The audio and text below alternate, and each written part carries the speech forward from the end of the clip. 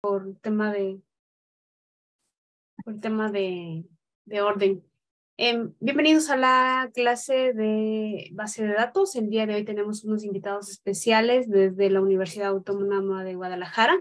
Nos acompañan eh, la maestra Ángeles y el maestro Jairo. Eh, ellos nos van a dar hoy una parte de la clase como un tema de intercambio que estamos realizándolo con eh, nuestros pares de México.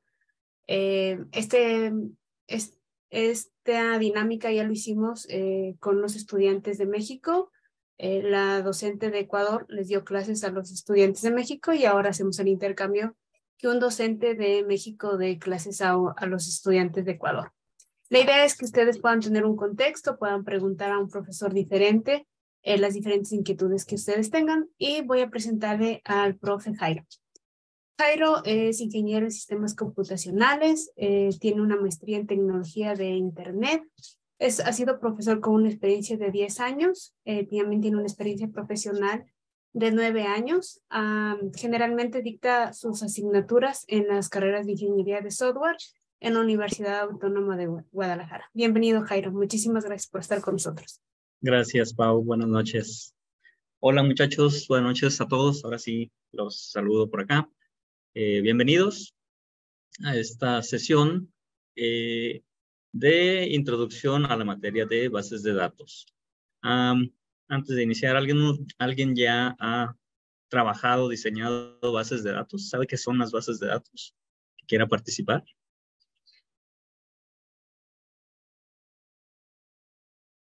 Yo tengo bases de datos, o sea, he trabajado, pero súper simples y son tipo SQL, o sea, son bien relacionales. O sea, son bases de datos. Yo trabajo con medicamentos, entonces tengo la base de datos de los medicamentos por medicamento, principio activo, concentración, forma farmacéutica, equivalencia, miligramaje, a qué categoría del sistema eh, del cuerpo pertenecen. Entonces son bases que están conectadas.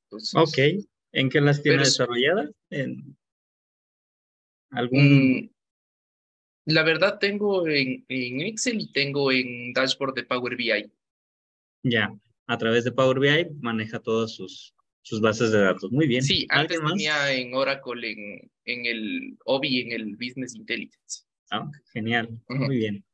Perfecto. Gracias, Sebastián, por su participación. ¿Alguien más que tenga alguna idea de bases de datos, porque ya sabes que yo no sé nada de bases de datos. Y nos colaboran y encienden las cámaras, también les ah, Adrián, gracias. A ver, adelante.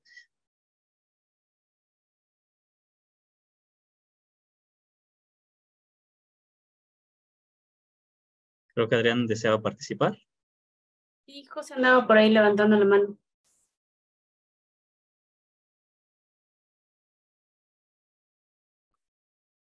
Bueno, vamos iniciando. ¿Qué son las bases de datos? Vamos a dar una breve definición acerca de eh, para qué me van a servir. Eh, de entrada les puedo eh, compartir, pues que es una parte fundamental de la mayoría de los sistemas. casi todos los sistemas, por no decir que todos, tienen en algún momento relación con bases de datos y efectivamente las bases de datos van a permitir eh, pues acceder a esa información o a esos datos que necesitaré o que necesito recuperar en algún momento para eh, pues algún análisis posterior y una toma de decisiones principalmente. Vamos a ver qué son las bases de datos, para qué se utilizan, en dónde se aplican, quiénes eh, principalmente las utilizan. Por ahí, si tenemos alguna, algún comentario sobre alguna palabra, pues trataremos de explicarla lo mejor posible, si no, pediré ayuda aquí con, con la maestra Paulina para cuestiones de, de, este, de definición. ¿sí? Entonces, vamos a iniciar. ¿Qué son?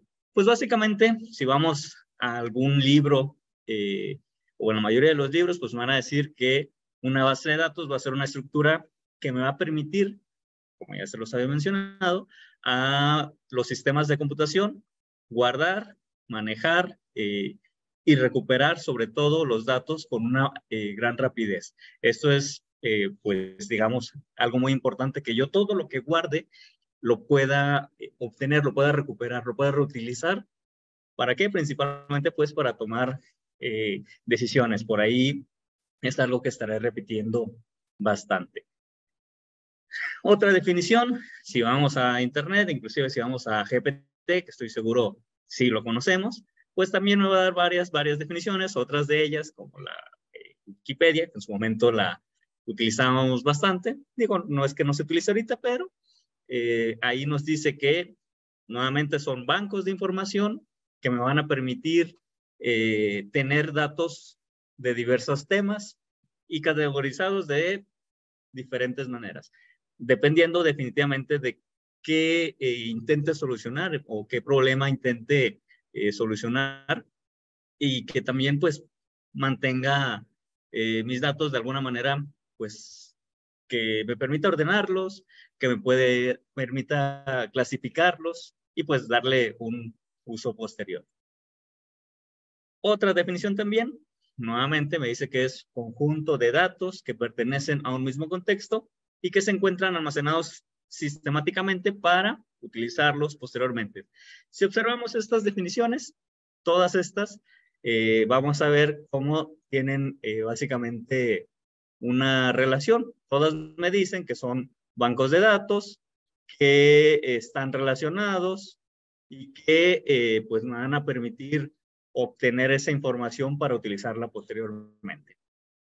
De igual manera, uno más, más eh, sencillo, más práctico, pues eh, básicamente dice que es un conjunto de datos que se encuentran relacionados entre sí. Digamos que de una manera más, más concisa.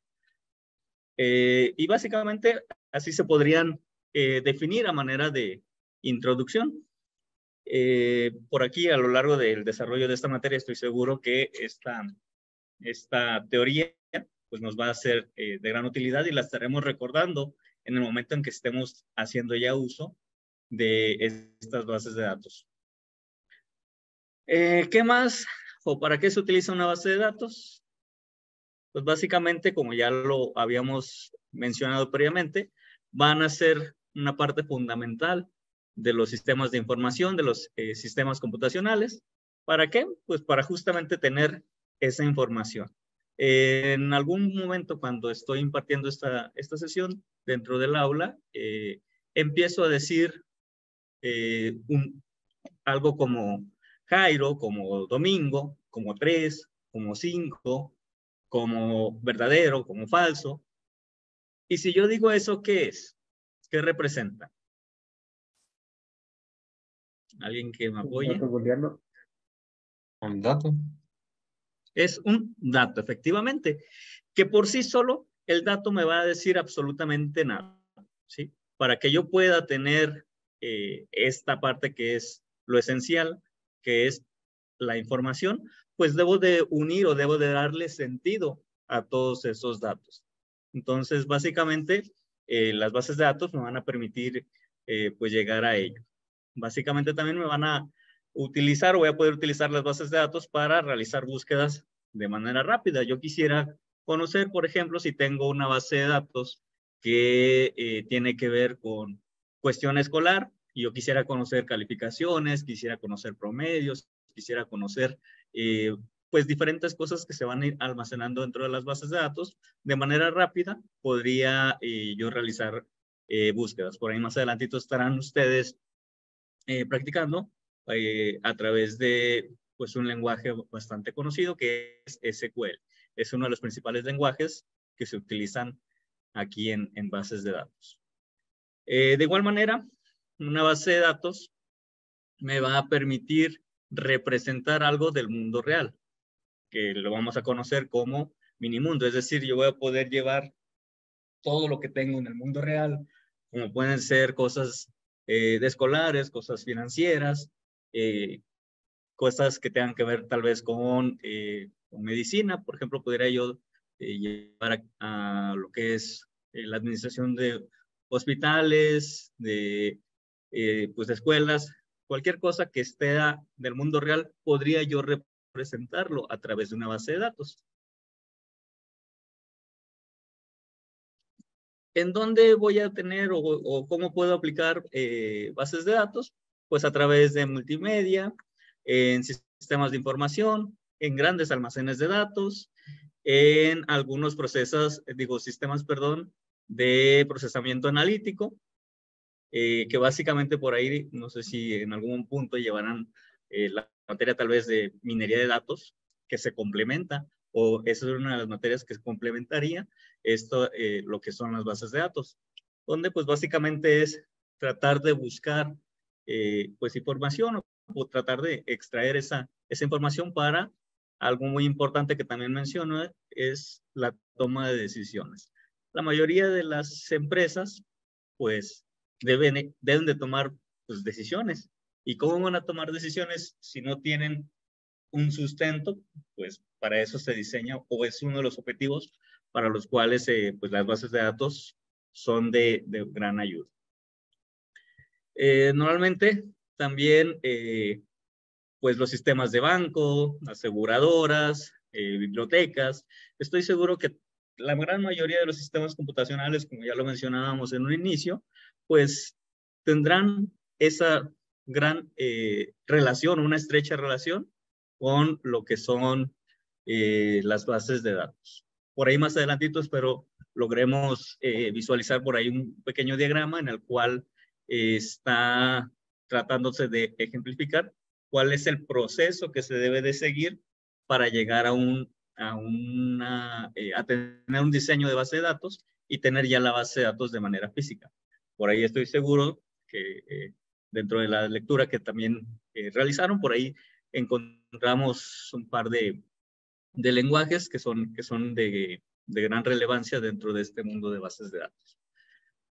Eh, algunos otros conceptos que se encuentran por acá relacionados en las bases de datos, pues básicamente son, como ya lo mencionaba eh, alguno de ustedes hace un momento, la parte más importante de las bases de datos, pues son los datos, ¿no?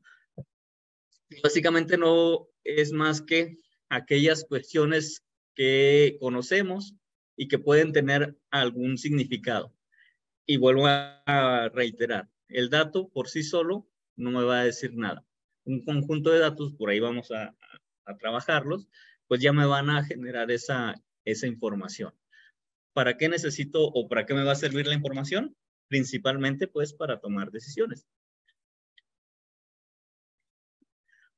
Por ahí también mencionábamos eh, hace un momento esta pequeña palabra que eh, se conoce como minimundo, lo cual pues lo definimos como algo del mundo real, en el cual pues básicamente se estará eh, creando la base de datos o que esto se va a traducir a una base de datos y vuelve a salir por acá uno de los ejemplos bastante conocido como lo es eh, un sistema de calificaciones eh, o un sistema escolar. Un sistema escolar pues implica varias, varias cosas, el guardar datos de los alumnos, las calificaciones, las materias y todo lo que conlleva para que nosotros podamos este, pues ingresar a los, a los diferentes sistemas. Y de igual manera, pues otro, otro ejemplo podría ser un sistema bancario donde pues vamos a tener todo un montón de datos acerca de diferentes movimientos eh, pues financieros que tienen que ver con depósitos, retiros, traspasos entre diferentes eh, cuentas. Y otros conceptos también están eh, relacionados con bases de datos, pues es un campo. ¿Alguien había escuchado acerca de lo que es un campo? Bueno, ya nos está diciendo que es un campo. Pero alguien con anterioridad ya ¿Tiene idea de qué es un campo?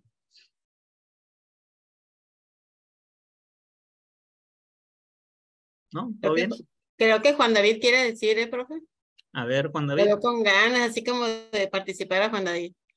A ver, adelante, Juan. Pues es como que el orden lógico tendría, digamos, o sea, yo me imagino realmente una, una tabla de Excel, que tiene un orden lógico las columnas o la relación que tienen entre sí. Pero, es un concepto muy, muy, muy suelto que tengo de idea, de campo, como el orden lógico más que nada. Fíjate, Juan David, algo bien sencillito. En eso mismo de Excel que tú acabas de mencionar. En ocasiones a cada columna le pones un título. Por ejemplo, nombre, dirección, teléfono. El título, nombre, el título, dirección y el título, teléfono. ¿De acuerdo? Para ti, ¿qué sería eso? ¿Un dato o un campo, Juan? Un campo, porque sería como la clase, mejor dicho, a la que pertenecen todos, todos los elementos. Exactamente, si hablamos de nombre, pues solamente la palabra nombre sería nuestro campo, sería lo que nos va a permitir identificar esa columna, ¿cierto? Pero ya cuando hablo de Juan David, de Jairo, de Paulina y de cada uno de, nosotros, los que estamos aquí presentes, pues cada uno de ellos, como decía el profesor, el profe Jairo, pues somos datos, un dato solito, ¿no? Juan David. Pero si ya digo un 23, no sé si el Juan David y el 23 están unidos, que es lo que estaba comentando ahorita el profe Jairo. Muchas gracias, Juan David. Mira, ¿ves? Que sí sabías. Gracias, Juan, por la participación. Igual los demás, ahorita vamos a buscar la manera de que esto se vuelva pues, de manera participativa. ¿Qué otros conceptos eh, tenemos relacionados con bases de datos, conceptos básicos que eh, a lo largo de estos días, a lo largo de la materia, pues estoy seguro los estaremos utilizando y en el día a día, eh, si nos dedicamos en algún punto a tener esta este rol o este, este, eh, esta profesión de, de, las bases de datos, pues son, van a ser conceptos que pues van a vivir con nosotros prácticamente en cada momento. Eh, ya lo mencionábamos, eh, también el concepto de información, donde no hay que perder de vista que dato no es lo mismo que información. La información pues va a surgir o se va a dar una vez que ya eh, unido o he dado eh, pues el sentido o un sentido significante a todo mi conjunto de datos o todos mis datos que tengo en algún punto guardado o almacenado. Y aquí viene otro concepto bastante también eh, ligado y muy utilizado en bases de datos, como lo va a ser un registro. Un registro, también conocido como tupla, si ya trabajamos con lenguaje Python, estoy seguro que también se nos hará eh, conocida esta palabra, pues no va a ser más que esa fila, si nos vamos nuevamente a la, a la analogía con una hoja de Excel, no va a ser más que la fila que va a contener los datos que van a que se encuentran o que le corresponden a los, eh, pues a los diferentes campos. Y el conjunto de registros o tuplas me van a llegar a formar un elemento crucial de las bases de datos también, como lo son las tablas. Básicamente, en una tabla es donde voy a tener almacenado todo el conjunto de eh, registros o tuplas y bueno, ahí es donde voy a poder recuperar esa eh, información.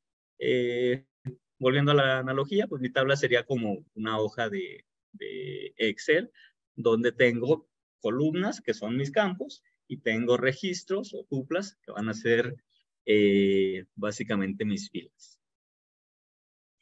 No sé si hasta aquí vamos bien, alguna duda, algún comentario, alguna palabra, si vamos muy rápido también díganme, levánteme la mano, detente y nos detenemos. Eh, cuando dicen información en conjunto de datos significativos y pertenecientes, Sería entonces lo mismo que cada tabla eh, sería una información específica, ya que todas son datos relacionados. Eh, sí, bueno, información va a ser el sentido que yo le vaya a dar a todos, eh, a todos mis datos. Y mi tabla básicamente es donde voy a guardar, donde voy a almacenar cada, cada uno de esos datos de manera individual que es como también mencionaba hace un momentito, yo les decía Jairo, les decía lunes, les decía dos, les decía datos. Todo ese conjunto los puedo tener en una tabla o en diferentes tablas. Y ya después, cuando uno de esas tablas o empiezo a tomar un eh, valor de una tabla, valor de otra tabla, para poder obtener eh, información. Eh, el ejemplo más sencillo o claro también podría ser el de, pues, un sistema de escolar donde en una tabla tengo eh, datos guardados como tiene que ver los nombres de las materias, en otra tabla podría tener eh, los diferentes programas que se, que se estén ofertando dentro de la escuela, en otro programa, en otra tabla, perdón, podría tener eh, pues datos de los alumnos, como por ejemplo su número de identificación, nombre, apellidos, dirección, y por ahí estaremos pues revisando un ejemplo. Ya de mis tres tablas yo podría llegar a tener eh, una tabla más, que es eh, la tabla donde tal vez guarde datos como el número de materia, el número de alumno que está llevándola, la calificación. Y al final, al unir todas estas eh, tablas que ya se encontrarían dentro de una base de datos, pues podría llegar a tener esa, esa información donde diferentes datos le voy a dar un sentido y me van a dar al final del día pues esa eh, información. Ya, entendido. Vale. Eh, pues como ya lo mencionábamos también, el utilizar este enfoque o este modelo de eh, bases de datos, pues básicamente me va a permitir pues controlar el almacenamiento de los datos. Y de igual manera, pues algo que es importante al momento que estemos diseñando una base de datos o que, pretendamos diseñar una base de datos es pensar en no tener pues información tal vez, eh, tal vez repetida. O podría tener una información en un lado, podría tener la misma información en, en otro lado. En una base de datos, pues básicamente eh, tendría todo concentrado en un, en un solo lugar. De igual manera, me va a permitir una base de datos, pues compartir eh, pues lo que necesite entre diferentes usuarios, entre múltiples usuarios. Más adelantito estaremos viendo que uh, usuarios están involucrados dentro de las bases de datos. De igual manera, tener una base de datos me va a permitir, así como puedo compartir estos datos, pues también tener eh, cierta seguridad o ciertas restricciones eh, pues de acceso a, a, los datos que tenga guardados o almacenados. De igual manera, me va a permitir eh, pues tener una estructura de almacenamiento para procesar eh, de una manera más eficiente, de una manera rápida, el consumo de esa información a través de, de consultas. Por ahí va a llegar un momento en el que pues van a dedicarle bastante tiempo al, al estar diseñando consultas.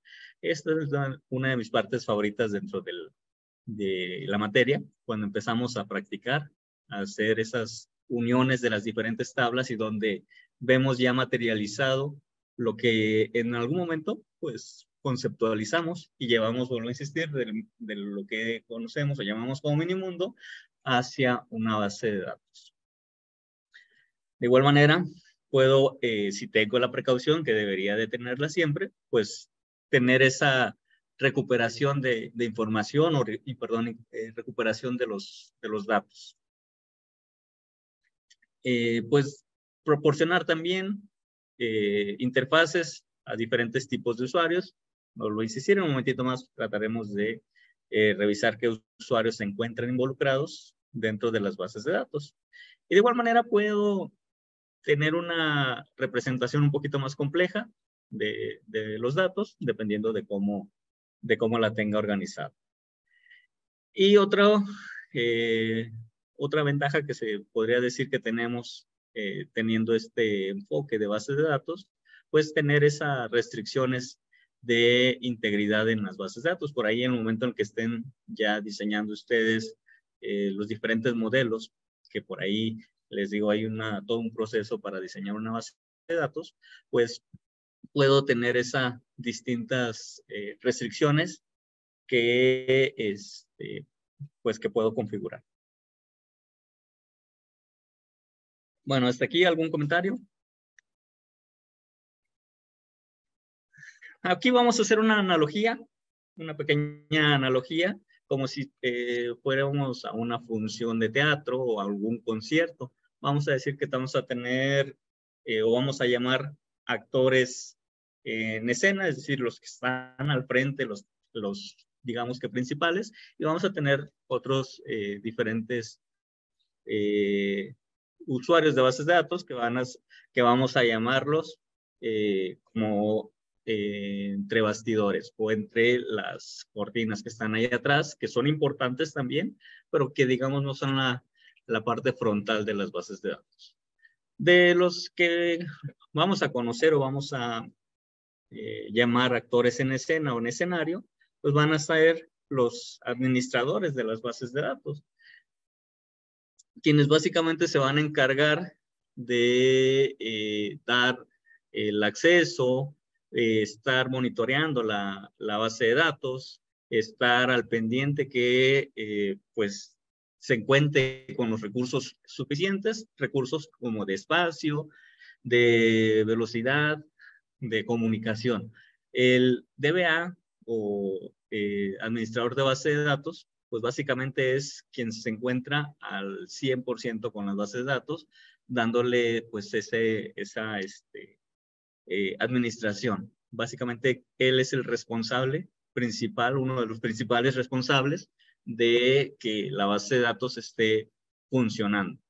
Que si se trabó o si eh, no podemos tener disponible el servidor en este, en este lugar, pues será el encargado también de haber diseñado o haber planteado un plan B para tener esa misma eh, información o esa, eh, pues acceso a, la, a, los datos en algún otro, este, en algún otro lugar para que pues no quede sin, sin acceso. De igual manera también va a controlar quiénes eh, ingresan a las diferentes bases de datos, porque yo en un mismo server o en un mismo servidor podría tener diferentes bases de datos y dentro de ellas podría tener otros objetos que por ahí están también, estoy seguro, eh, trabajando, como pueden ser vistas, procedimientos almacenados. Cada uno de esos objetos pueden ser eh, administrados por este usuario, por esta persona, quien dirá, ¿sabes qué? Fulanito de tal tiene acceso a tal tabla. Fulanito de tal tiene acceso a tal vista, nada más. Eh, y de igual manera, los mismos accesos puede decir, ¿sabes qué? Tú nada más puedes consultar. O tú puedes consultar y modificar. O tú puedes consultar y realizar ciertas acciones que por ahí también eh, más adelantito estarán ustedes practicando y estarán llevando a cabo pues ya un poquito más la implementación de, de estas acciones. Más adelante las vamos a ver. Otro eh, usuario, u otro tipo de usuario que también podríamos decir que se considera como alguien que está en, en, la, en la escena, pues vamos a ser los diseñadores de las bases de datos. Por ahí les mencionaba que esta, este rol o este tipo de usuario dentro de las bases de datos es de suma relevancia porque tiene que tener esa capacidad de entender y traducir el problema o la necesidad que se quiere llevar del mini mundo a una base de datos. Debe de ser alguien que eh, debe de tener una muy buena comunicación, debe de entender muy bien el problema para que pueda plantear una buena solución. Esta persona o este tipo de usuario pues básicamente es aquel que tiene que tener esa curiosidad para identificar muy bien hasta el más mínimo detalle y tenerlo en cuenta en este proceso de, diseño. De igual manera, eh, pues básicamente tratará de plantear un, un, diseño que tenga en cuenta todo lo necesario para dar solución al problema que se le, que se le encomendó resolver. Aquí está eh, esta persona pues básicamente va a estar muy, muy en contacto con el, el dueño del sistema. Y debe de ser, vuelvo a insistir, curioso, debe de preguntar hasta el más mínimo detalle para tenerlo en consideración eh, en el diseño. Por ahí más adelantito también vamos a ver cómo existen diferentes eh, modelos que me permiten representar una base de datos. Desde que lo estamos conceptualizando hasta que ya vemos materializada la, eh, la base de datos en tablas de manera física. Eh, vamos a ver más actores. Tenemos básicamente eh, nosotros como desarrolladores de software, como desarrolladores de sistemas, pues vamos a estar también ahí. Quien básicamente pues estará tratando de llevar a cabo pruebas eh, con, con, la base de datos, conectarse a la, con la base de datos desde distintos eh, lenguajes de alto nivel, como puede ser Java, puede ser Python, eh, C Sharp, cualquier de esos lenguajes, podemos conectarlos. Y bueno, también tenemos, digamos que a los que conocemos como usuarios finales, quienes básicamente podrían ser aquellas eh, personas que eh, pues simplemente acceden y hacen consumo de la, de la información o de lo que tenga eh, mi base de datos guardado. Que pueden ser también algunas cuestiones como llevar a cabo la, la inserción de datos, la modificación. Todo esto definitivamente si tiene los permisos necesarios, que ya vimos quién nos otorga los permisos. ¿Qué usuario da los permisos? El DBA, el administrador. El DBA, perfecto. Muchas gracias. ¿Qué más tenemos por acá? Podríamos decir que tenemos usuarios finales ocasionales que pues, muy rara vez estarán accediendo a, la base de datos. Nada más van a acceder pues, cuando necesiten eh, un poco de, información. No están ahí, pues digamos que eh, al pendiente. Luego podríamos también tener usuarios finales eh, simples, que básicamente serán aquellos, de, podríamos llamarlo como operadores, que estarán eh, llevando a cabo las transacciones, la mayoría de las transacciones que pueden ser desde agregar una calificación, cambiar una calificación, poner eh, la actualización de algún informe.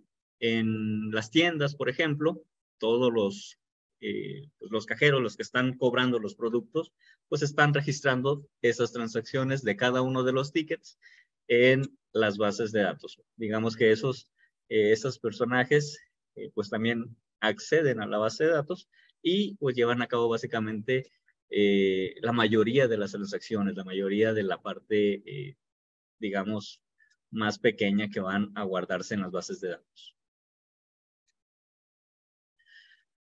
Eh, luego podríamos también tener usuarios finales avanzados, que pueden ser aquellos que, eh, pues básicamente van a analizar un poquito más allá de lo que se ve a simple vista en las bases de datos. Aquí puede entrar también un poquito eh, lo que tiene que ver con inteligencia de negocios, que puede ser con analista de datos.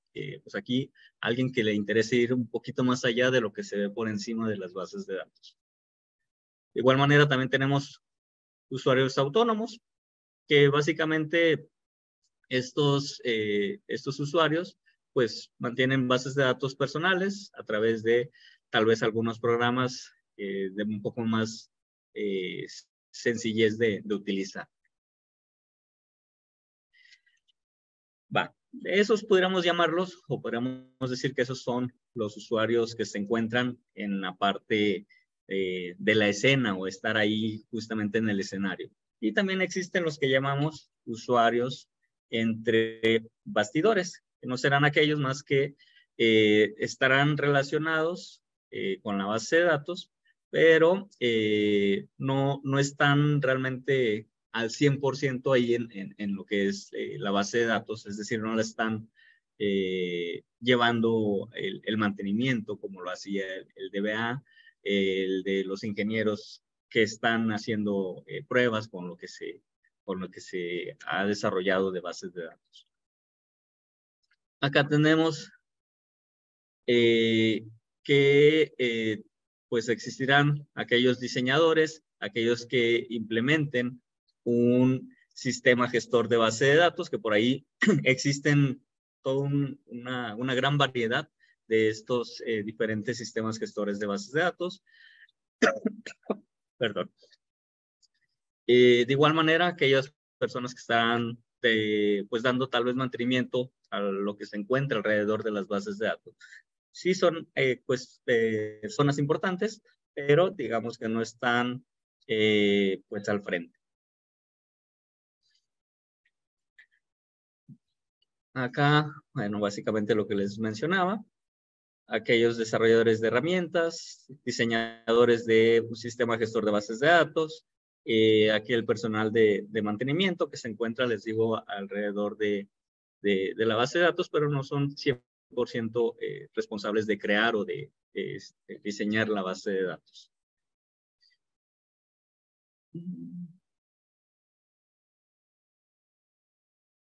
¿Alguien había escuchado acerca de los sistemas gestores de base de datos, sistemas de gestión de base de datos?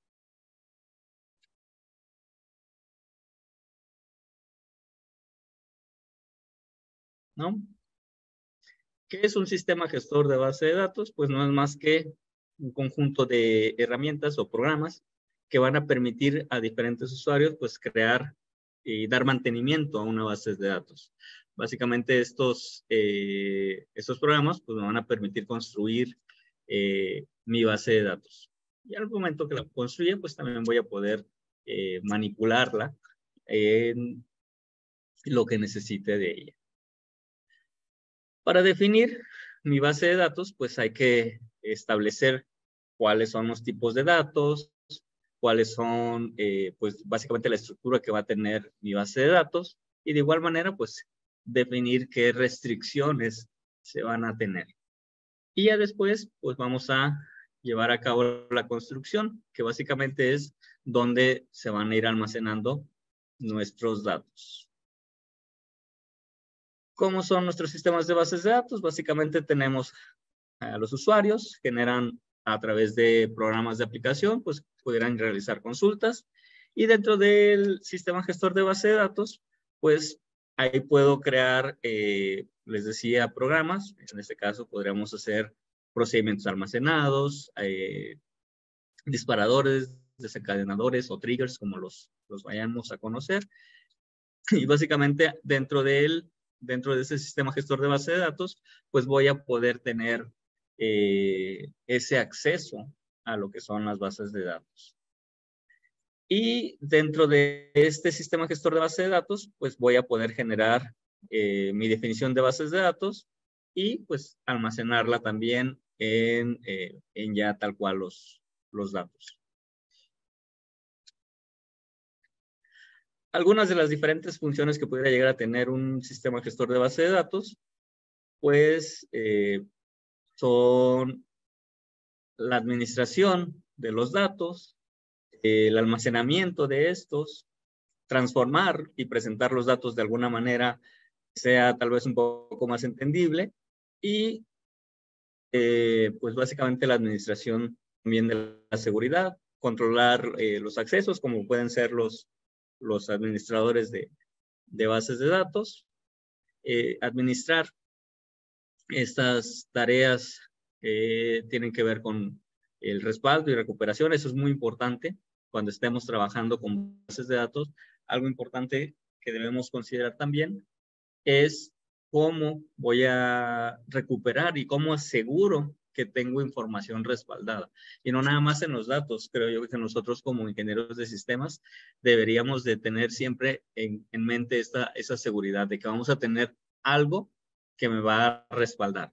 En el software siempre, siempre, siempre, siempre algo, algo va a fallar y si no estoy preparado para ese fallo, pues tengamos por seguro que lo vamos a perder. Y si lo perdemos, pues podríamos perder todo. No sé si hasta aquí tengamos alguna duda, comentario. ¿Vamos bien? Eh, profe, yo, eh, ¿podría por favor profundizar un poquito sobre la administración de del diccionario de datos? Administración del diccionario de datos, pues básicamente es eh, cómo voy a administrar todo lo, todo lo que voy a almacenar dentro de, eh, lo que son las bases de datos, como pueden ser eh, la tabla fulanita de tal, qué tipo de información va a tener, qué campos tiene la, la, la tabla y pues básicamente a eso nos, nos referimos.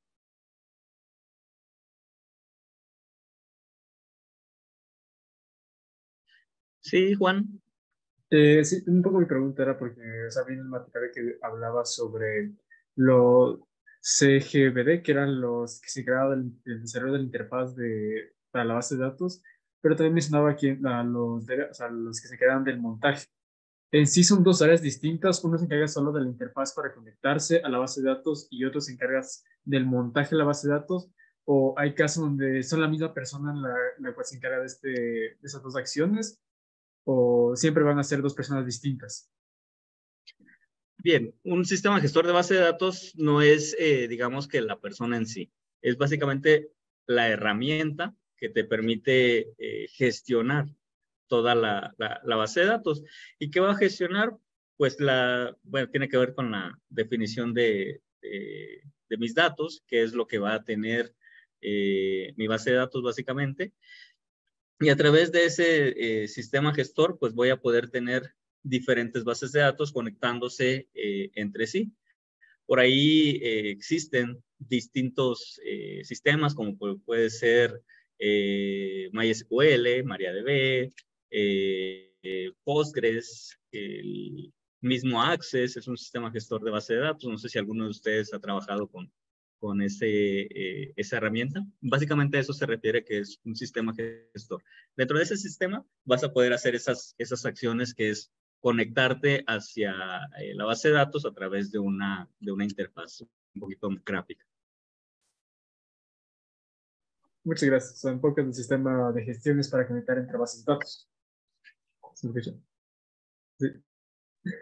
¿No alcanza la última, la última pregunta? Eh, no, solo aclarar para ver si me queda claro que un sistema de gestión es simplemente la conexión entre dos tipos de bases de datos. Es como, digamos, el puente. Mm. Sí, te va a permitir conectarte a diferentes eh, bases de datos y, pues, básicamente administrar, eh, pues, las bases de datos que tengas dentro de, este, dentro de ese sistema. Tal vez para complementarle ahí a Juan David, ¿te acuerdas que el día miércoles les indiqué el entorno de SQL Server? ¿Te acuerdas que ahí yo les indiqué la base de datos que había creado de lo que es la universidad eh, chiquitita, no gigante, y el otro que teníamos que tenía un montón de datos? Ese sería el sistema, porque el SQL es el que te permite tener las diferentes eh, bases de datos sea de la universidad o, por ejemplo, de ventas o de CRM. Ese es el que te permite gestionar toda la información de la base de datos. Ese es el software que te permite la administración las diferentes bases de datos. Por eso lo menciono el profe Jairo, eh, por ejemplo, eh, MySQL, que es la otra opción que ustedes van a revisar para los chicos que tienen Mac, tienen que tener instalado el MySQL, que también es un, sistema, ¿no? Eh, Postgres también es un tema de otro sistema de base de datos en la que se puede almacenar toda la información. Más o menos eso, Juan, es el entorno donde tú gestionas tu base de datos. Listo, muchas gracias. Gracias. Este, no sé si alguien más tenga algún otro comentario.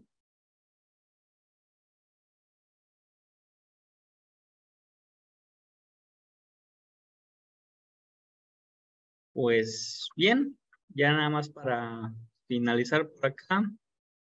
Eh, una base de datos, podemos decir que está principalmente eh, conformada por dos partes muy importantes. Uno, vamos a decir que es la descripción o la definición de las bases de datos. Y lo otro es eh, tal cual los datos que se almacenan dentro de la base de datos, cómo los puedo yo manipular. Y para eso, por ahí estaremos abordando, se estarán abordando más adelante estoy seguro, eh, algunos eh, lenguajes. De los más, eh, digamos que conocidos o de los que más que se van a utilizar van a ser DDL y otro que va a ser DML. Permítanme un segundito en lo que voy a cambiar un poquito la diapositiva. Voy a dejar de compartir y ahorita vuelvo a compartir, ¿va?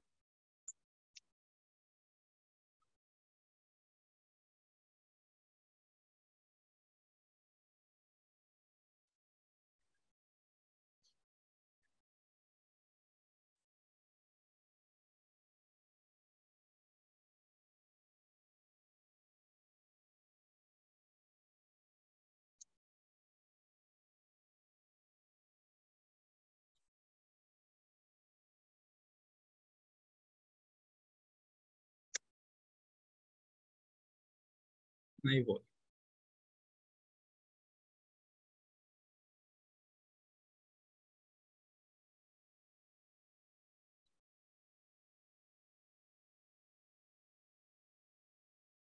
Mm. ¿Me pueden en un momentito confirmar si ya pueden visualizar nuevamente lo que se comparte?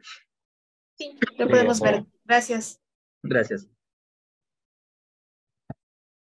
Bien, les mencionaba que un sistema de base de datos, pues básicamente va a estar formado por eh, principalmente dos partes, la descripción de la base de datos y los datos que eh, almacena. Eh, un SGBD, pues básicamente va a manejar algunos lenguajes, como ya se los había mencionado, DDL principalmente o inicialmente y posteriormente pasaremos, una vez que ya tenemos la definición de mis datos, hacia la manipulación de estos mismos. Básicamente a eso nos vamos a referir con estos. Y aquí una breve, eh, eh, pues, digamos que mapa de las acciones que hacen cada uno de los distintos, eh, estos dos lenguajes. Por ahí podríamos clasificar que tal vez del select no es propiamente de DML, pero eh, aquí en este, para este breve ejemplo lo estamos considerando como tal, porque son acciones que van a eh, repercutir directamente en los datos. Aquí estoy seguro, por ahí más adelantito estarán practicando estas, eh, estas acciones bastante, como lo son, primeramente, crear la base de datos, crear las tablas. Si en algún momento llegué a equivocarme, pues podría modificarla a través de un alter. Eh, o si ya no la necesito o realmente eh, fue creado de más, podría eliminar. Entonces, a través de DDL creo objetos que me van a permitir, pues básicamente crear las, las tablas principalmente.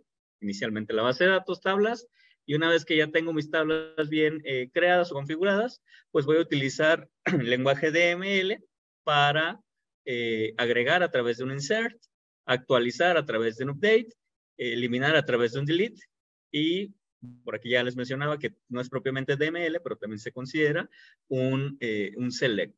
en el momento en que ya empecemos a practicar SQL, este lenguaje, es algo que pues a mí me, me, gusta mucho. Me gusta mucho hacer consultas, unir tablas y pues presentar, presentar información. Espero yo también que, que para ustedes les sea de, de, de bastante, este, bastante ayuda y que les, les guste sobre todo. ¿Va? Por aquí rápidamente, ya casi terminamos, les decía, vamos a ver si vemos el diagrama que les mencionaba. ¿Cuál sería de manera general o de manera rápida cómo sería mi proceso para diseñar una base de datos? Todo inicia con algo que se encuentra en el mundo real, que conocemos como minimundo, Posteriormente se lleva a cabo eh, pues esa recolección de, del, problema o la recolección de requerimientos de, del problema que estoy dando a solucionar para que una vez que tengo ya ese análisis muy bien eh, establecido, pues voy a, de, voy a llevar a cabo mi diseño conceptual. Ese diseño conceptual lo voy a traducir para un eh, análisis tal vez un poquito más también sencillo, a un diseño lógico. De mi diseño lógico voy a pasar ahora sí a tener un diseño físico, es decir, ya tener de manera física mi base de datos. Entre el diseño lógico y el diseño físico, podemos decir que es eh, completamente dependiente de eh, cada sistema gestor de base de datos. ¿Por qué lo decimos que es dependiente? Porque cada eh, sistema gestor de base de datos podría utilizar eh, algunas instrucciones un poquito diferentes o los tipos de datos con los cuales vamos a crearlos, eh, pues un poquito más específico dentro de, de, este sistema gestor. por ejemplo, podría ser que en MySQL el tipo de datos de fecha y hora puede ser timestamp y un SQL Server pues puede ser un small date small day time. Básicamente este era el, el, eh, el, diagrama que les quería mostrar hace un momento. Por ahí estaremos, estarán eh, eh, aprendiendo a utilizar pues esta forma de diseñar conceptualmente a través de el modelo entidad-relación o entidad-vínculo que también se le conoce. Y luego este mismo es traducido a lo que se conoce como modelo relacional. Por ahí estarán conociendo que existen ciertas formas para eh, pues representar la base de datos, como eh, mi entidad va a tener atributos, de ahí estarán viendo que tienen o van a tener diferentes tipos de atributos, que pueden ser atributos clave, atributos multivaluados, monovaluados, y cada uno de ellos, de esa simbología que van a aprender, pues les va a servir para llevar a cabo el diseño físico y que podamos entender muy bien cómo, cómo tenemos las, las bases de datos. No sé si tenemos hasta aquí algún comentario.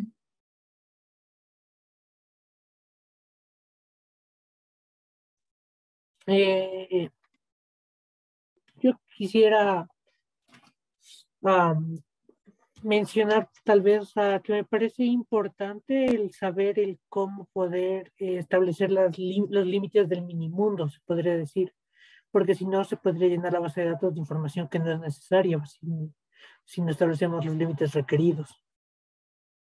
Sí, sí, sí, hay que tener muy bien claro eh, qué es lo que vamos a llevar o qué es lo que realmente requerimos llevar de la parte del mundo real a la base de datos. Y por eso es, es importante que se haga un, un gran análisis de, de, lo que vamos a traducir o de lo que vamos a este, llevar hacia, hacia las bases de datos.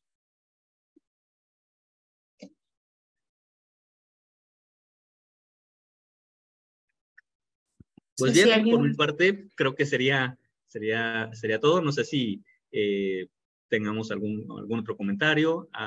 maestra Paulina, maestra Angelitos, algo que se me haya pasado. Creo que estaba bien en términos generales, aunque bueno, también estaba viendo que tenían otro tipo de lenguajes, mencionaba la maestra Paulina acerca de los lenguajes que de alguna manera sabemos que, que podemos utilizar para las interfaces. Eso es lo que comentaba la maestra Paulina, este, en algo que le dejó a los chicos.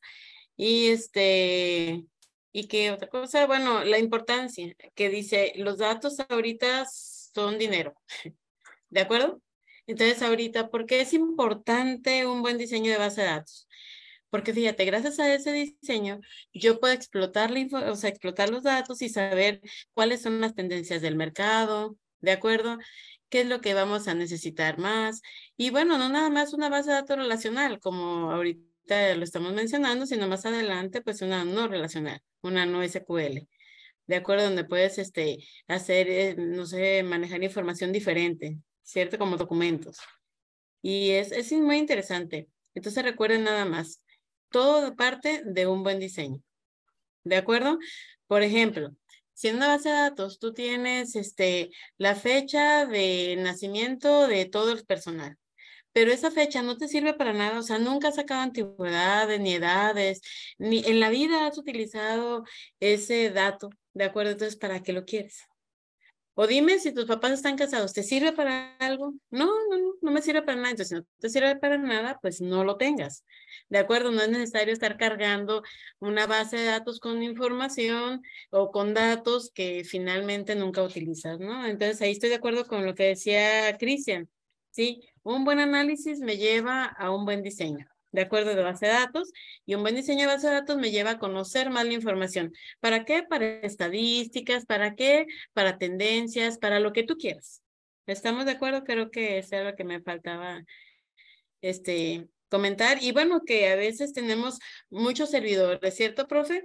Que por ejemplo tú dices, tengo dos, tres servidores, tengo un servidor espejo, se cae el servidor uno y el servidor dos, inmediatamente se levanta, porque dentro de la programación, como comentaba la, la maestra Paulina, hay algo que me dice que este dejó de funcionar y en ese momento ese lenguaje que me ayudó por interfaces, que me ayudó de manera interna, como haya sido, detecta que el servidor 1 dejó de funcionar y entra el servidor 2, ¿cierto, profe Jairo? También para ustedes, ¿verdad? Que estaban ahí en sistemas no nos podemos quedar sin, sin la parte de sistemas financieros o sin la parte de sistemas académicos, ¿cierto?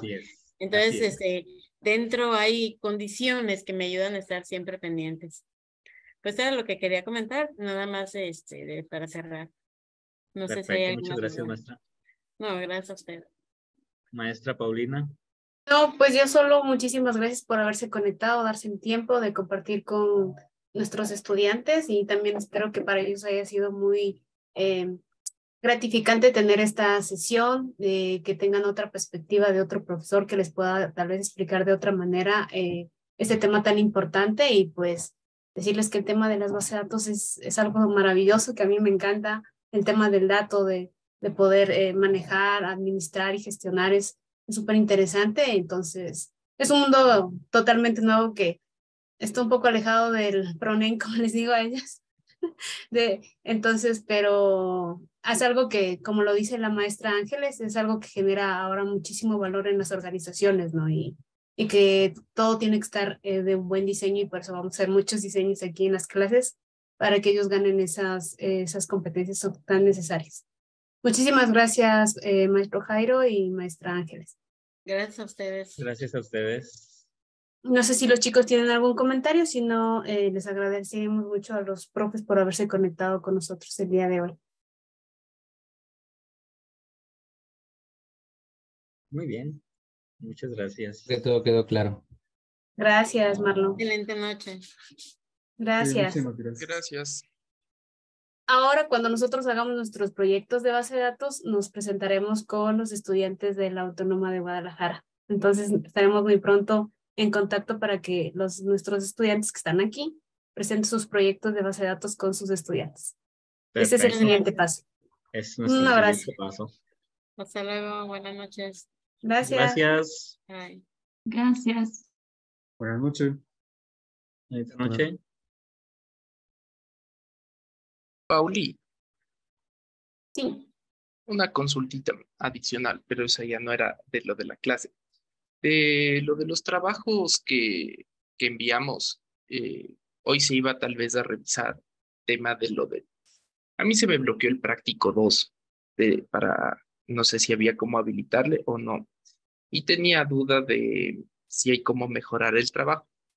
Espera, es que estoy con dos pantallas, entonces. Ya, ahí sí. Hola chicos, Eh, gracias por conectarse. Eh, efectivamente estamos tratando de hacer estas iniciativas donde ustedes también tengan intercambios con los estudiantes de la Autónoma de Guadalajara. Estamos haciendo también un curso para que ellos vengan a Ecuador. Lo teníamos planificado para julio, pero se ha movido por el tema de que ellos salen a vacaciones. Terminaron el semestre la semana pasada, entonces comienzan de nuevo el semestre en agosto. Se nos ha complicado y creemos que vamos a hacer, no creemos, lo vamos a hacer en octubre, el curso, entonces ustedes también serán invitados al curso para que compartan en vivo y en directo con ellos, ¿ya? Referente a los eh, trabajos. El autónomo, en los prácticos, eh, como saben, los que hoy quieran hacer una recuperación, yo les habilitaré y quedará habilitado por eh, una hora para que ustedes puedan hacer en este momento el tema de los eh, experimentales. Porque como les he mencionado, la idea no es eh, que ustedes saquen malas calificaciones, la idea es efectivamente que ustedes aprendan, que es el objetivo de la clase. El trabajo, el autónomo, el uno, eh, sí me llevó sorpresas, pensé que eh, hay trabajos que cumplen con todos los parámetros eh, y es súper importante este trabajo porque desestablecí parámetros y sé que era súper complicado hacer un resumen en dos hojas, yo lo sé, de todas las bases de datos. Era súper complicado y que saquen los pros, los contras y el contexto en lo que iban a utilizar. Era un, un- un tema de, de trabajo de, que debían esforzarse y hacer. Pero lo más importante y que yo identifiqué en muchos de ustedes es que no leyeron los requisitos del usuario. Yo era el usuario y les había pedido cosas específicas y efectivamente me ponían un tema de una introducción de todas las bases de datos, no me ponían los pros, había un tema de desorganización, eh, no me ponían los contextos. em, y claro, hay muchas personas que se fijaron en el tema de la rúbrica y agregaron un tema de conclusiones, que les aportó mucho al, al trabajo. Como yo le mencioné a uno de sus compañeros cuando le hice la retroalimentación, porque todos, todos tienen su retroalimentación, ¿verdad? Súper específica porque eh, hay que ser súper detallista en ese tema. Era como entregar eh, un informe al CEO de la organización y el CEO tenía que entender lo que son las bases de datos. Vamos a hacerlo para que mejoren. Eh, les voy a habilitar para que puedan entregar esta, esta semana los que quieran. Hay personas que, como les digo, cumplieron con el reto, porque en verdad era un reto hacer esto. Así que les voy a habilitar, Sebas, para que puedan hacer eh, la mejora de la calificación, ¿ya? Súper. Porque ya tienen que hacer un trabajo de, ahora sí, ya un modelo de base de datos. O sea, ya vamos a comenzar a modelar. El trabajo autónomo 2 ya es modelar un, un tema ya de base de datos. O sea, ya crear las entidades, eh, crear las distintas eh, relaciones entre las entidades, en, crear los campos. Entonces ya es un tema de ya pensar en un tema de base de datos. Eh, les invito a que se conecten a la clase del día miércoles porque vamos a trabajar enteramente en hacer ejercicios como ya lo hemos hecho en las otras clases donde yo les planteo una interfaz y ustedes van sacando cuáles serían los, las diferentes tablas, eh, los diferentes campos que tienen las, las tablas. Y también eh, podríamos revisar un ejemplo de los del el trabajo autónomo 2 para que comiencen ya a tener una idea de cómo deberían hacer ese trabajo autónomo 2, porque el parcial va muy relacionado también a hacer un diseño de base de datos, porque estamos en, un, en una clase de, de, de, modelamiento de base de datos. Esta, esta asignatura es para que ustedes ganen esta competencia de aprender a hacer modelamiento de base de datos. La primera semana, las primeras cuatro semanas lo podemos hacer como nos guste, pero lo importante es entender cada una de las entidades y luego las siguientes, siguientes eh, cuatro semanas ya van a entrar lo que son las reglas de modelamiento en base de datos y luego ya llevarlo, como lo dijo el profe Jairo, a un tema más de gestión en SQL directamente. Sí sería importante que tengan instalado el SQL para que comiencen ya a practicar alguno de los comandos eh, que poco a poco les iré habilitando para que revisen. Entonces, ¿quién va a dar el práctico 2? Porque solo voy a habilitar a los que están aquí. No les voy a habilitar a todos. El práctico 2. ¿Sebas? ¿Alguien más va a dar ese práctico 2? Déjenme ver que no te tengo. ¿Ya? Hasta hoy, ¿verdad, chicos? Sí, Pauli. Yo, yo también, profe. ¿Quién es yo también? Alexander. Alexander, gracias. Alexander, perfecto. Yo dos. profe. Ahí estás, Eddie.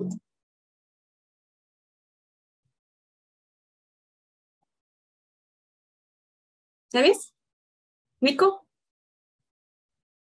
Tal vez por ahí me escribió Estoy alguien. viendo mi 2.4.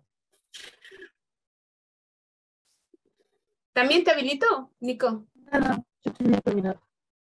Él está bien, dice. No le entiendo. ¿Qué dice? Sí, se le recorta, pero el Nico dice que ya tiene tres y que si se le habilita para ver si vuelve a sacar tres, dice. Bueno.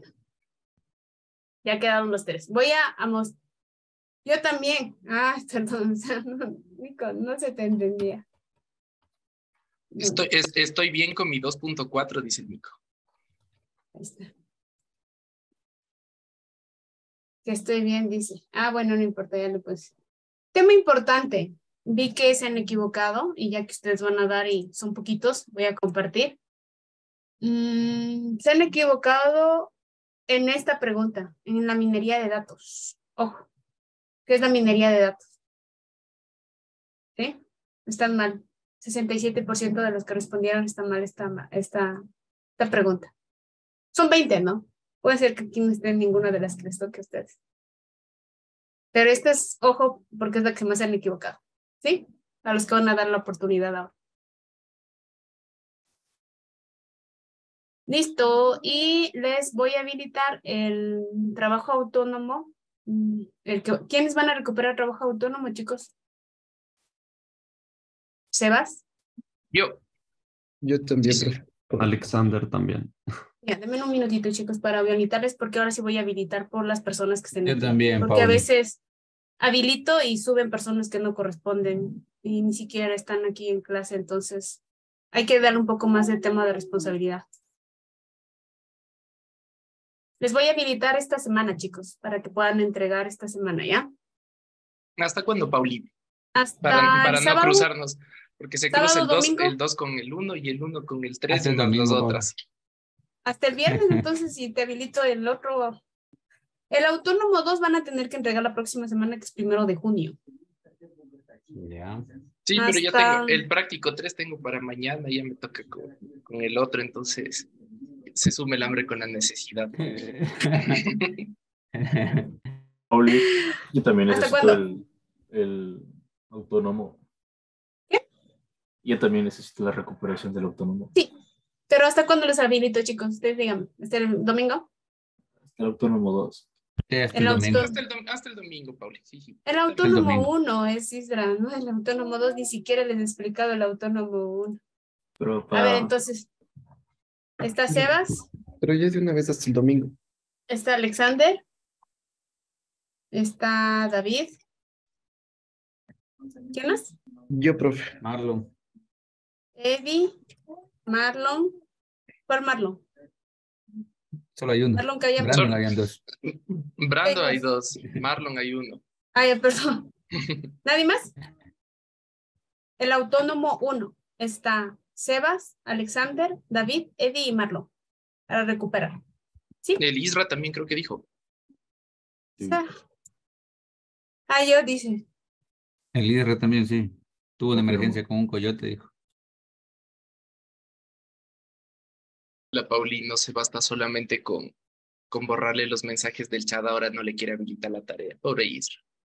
Ya, están Sebas, Alexander, David, Eddie, Marlon y Marcelo. Y Ma- Israel. es que es Mar- Marcelo Israel. Listo. Habilitados, chicos. Listo, chicos, cuídense mucho. Muchas gracias, ¿Eh? Pauli.